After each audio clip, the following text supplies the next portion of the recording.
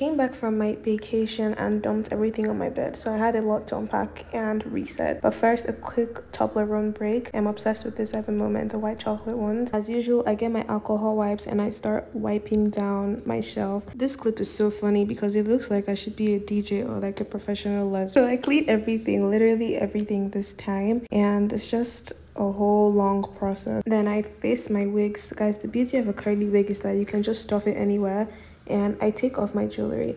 Then I move to my bed, which is a hot mess. I'm showing you guys the new hooks I bought because they said that we can't use the over-the-door hangers or hang anything on the wardrobe again.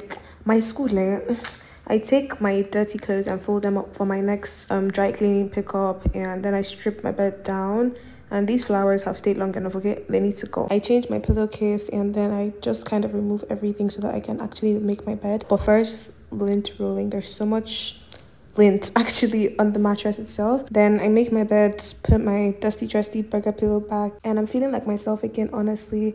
And i have to take off more lint because this duvet cover has been in storage for a very long time. I put my books back because i know i'm going to study right after another toblerone break. Guys i'm addicted to these honestly. Then i fill up my milk and replace my napkins. As usual i have to squish them like this so that they look aesthetic or whatever and then I open my hooks and I find where to put this um, suction one and then the regular one. I also empty out my paper bin and then I go to wash my bottles.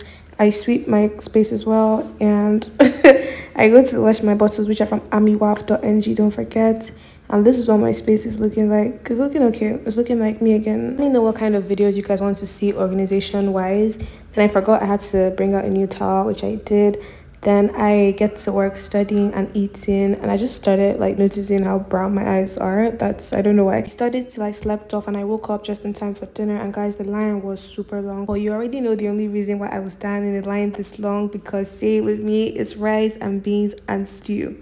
If this was a person I would literally get married to it. And then I have my chamomile tea with this shitload of honey because I feel weird. Like I feel funny health wise. Then they came to do a surprise impromptu search in the hostel in all the rooms, so that was fun. And then you guys that were saying that how do I study with the camera on me? Like you guys are literally so hilarious. I don't know if you guys think before you comment. I'm just being honest, not rude. Sorry, but I put the camera there. How can I be distracted?